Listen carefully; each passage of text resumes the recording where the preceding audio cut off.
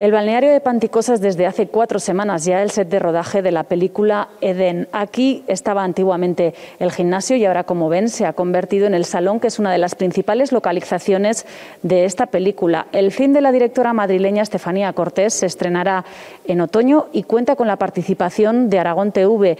Eden es un drama psicológico que dicen se ha adaptado a la perfección al entorno natural del balneario de Panticosa. A punto de terminar el rodaje, actores y actrices se reúnen en uno de los escenarios más relevantes de la película Eden. Se ha recreado en la zona del gimnasio del balneario de Panticosa. Su director ha buscado una estética luminosa para darle luz a una historia oscura encontré un espacio que tenía todos los requisitos que yo, que yo buscaba, integrado en la naturaleza, con unas cristaleras gigantes, con una luz natural maravillosa. Para muchos de sus protagonistas, rodar en el balneario ha sido un verdadero descubrimiento. La libertad, la culpa o la soledad de este drama psicológico se intensifican en este entorno.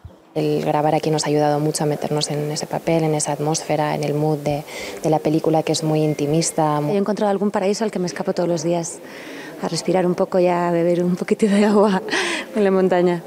Más de 40 personas han trabajado en este rodaje. Es un espacio mágico, operístico, un espacio que es el, el quinto personaje de la película. El film se estrenará en la gran pantalla el próximo otoño.